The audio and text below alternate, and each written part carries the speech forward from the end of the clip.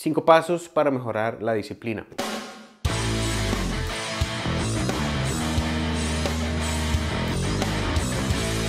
Hola, ¿cómo están amigos? Espero que estén bien. Hoy estamos hablando de un tema muy importante. Al final de cuentas, esto no es solo trading, esto no es solo negocios, esto es la vida misma. Disciplina es lo que trae resultados en cualquier área.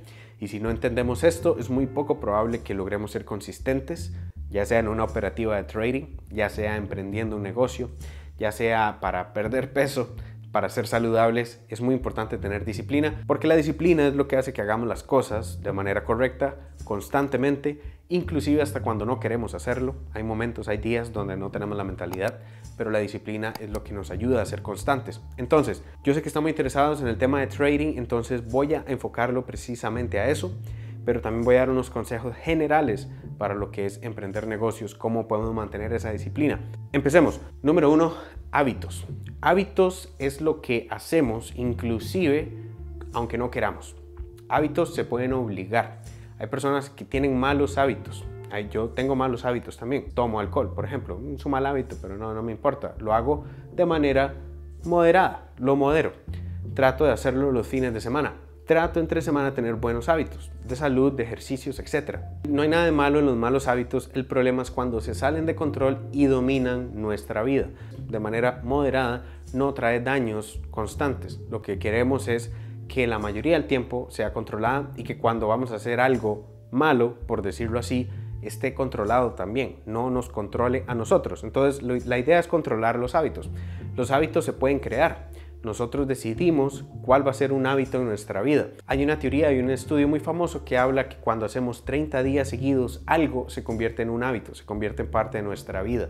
Entonces, si nos obligamos a empezar a hacer algo durante 30 días seguidos, eventualmente en un mes va a ser parte ya de nosotros. Vamos a controlar esa parte de nuestra vida.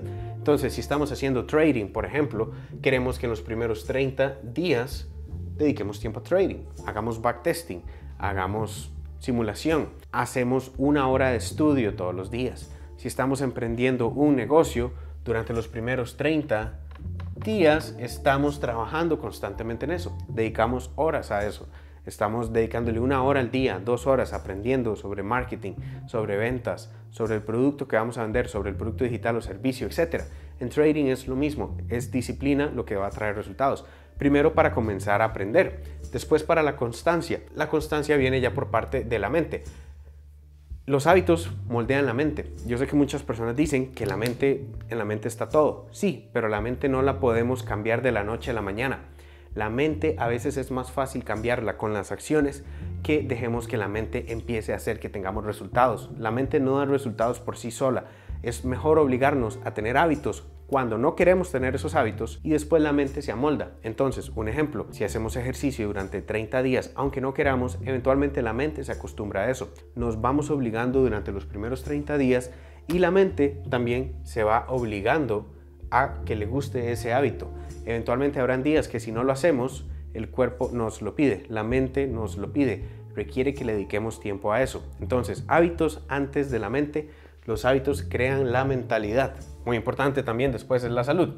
De nada sirve si no tenemos salud. Si no estamos sanos, vamos a romper hábitos. Es muy difícil seguir metas, ser constantes cuando estamos enfermos. No vamos a lograr nada si estamos enfermos. Es muy necesario tener una buena salud para ser constantes. Si estamos en la cama todo el día porque estamos resfriados, porque nos dio calentura, porque nos dio algún tipo de problema de salud por mala alimentación o no hacer ejercicios nunca, no vamos a lograr ninguna meta nunca. Aunque sea trading, porque es en la computadora y podemos hacerlo desde la computadora, vamos a tener malos resultados solo por el hecho de que no estamos bien de salud.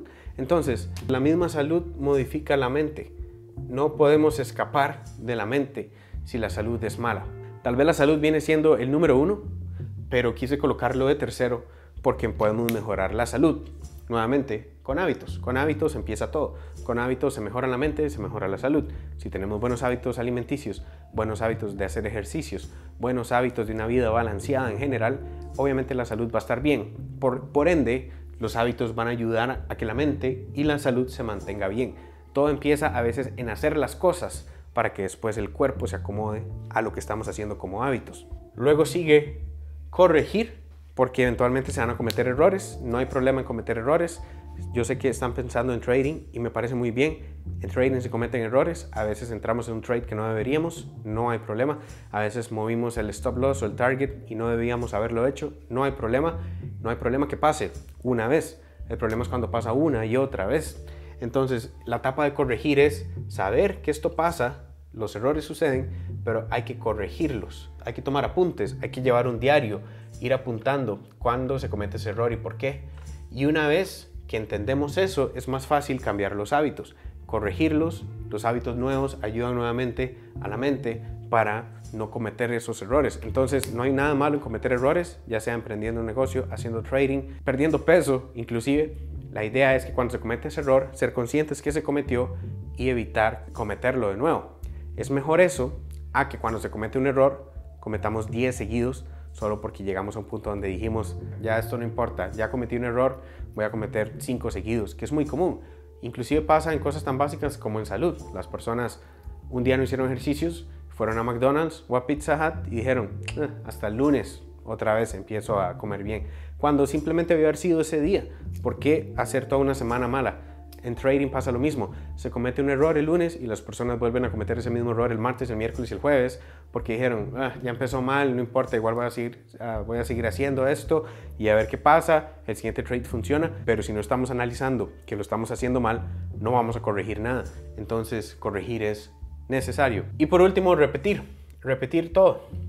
No hay escape. Realmente la vida es un poco compleja. No hay manera de siempre estar feliz, de siempre ser la persona más óptima en todo. En trading también. En trading la gente cree que la constancia llega y adiós problemas de dinero, adiós problemas de trading, adiós problemas generales en la vida. No. Trading igual se puede perder la constancia. La constancia, aunque llegue, no significa que se quedó para siempre. La constancia es algo que se puede perder. Pero el problema es que se pierde cuando dejamos de hacer estas cosas hábitos, mente, salud y dejamos de corregir, ya no vamos a poder seguir repitiendo todo lo que nos traía resultados. Entonces, cuando se obtiene constancia en trading, es probable perderla si empezamos a cambiar los hábitos, la mente, la salud y no corregimos. Entonces, es muy importante en todo y no solo en trading, en la vida también, repetir lo que sí funciona, corregir lo que no repetir lo que sí funciona, corregir lo que no. Espero que este video haya quedado pues claro. Yo sé que fue un poco general, no fue únicamente de trading, pero les aseguro que funciona. No sientan miedo o problemas cuando eventualmente se cometen errores. La idea es saber que hay buenos días, malos días, buenas semanas, malas semanas. Esto pasa en todos los negocios, pero si estamos constantemente repitiendo los buenos hábitos, van a traer buenos resultados, sea lo que sea que estamos tratando de lograr. Si les quedó dudas o si quieren dejar un comentario extra, dejen un comentario abajo. Siempre respondo las primeras 24 horas. Recuerden suscribirse al canal, denme un like, comentarios y le dan a la campana para que les lleguen las notificaciones de cada video. Y nos vemos en otro video. Chao amigos.